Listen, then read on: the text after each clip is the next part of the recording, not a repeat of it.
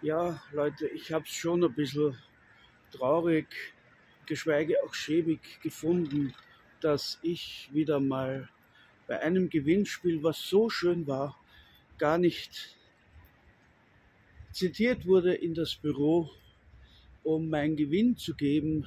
Nee, man hatte wieder im Schlaf einen gefunden und ja, trotzdem Glückwunsch, aber ich bin trotzdem noch ein bisschen verärgert, weil es kann nicht sein, dass man hier öfters mitspielt und dann deppert durch die Finger schaut. Und das hat mich ziemlich geärgert. Tschüss.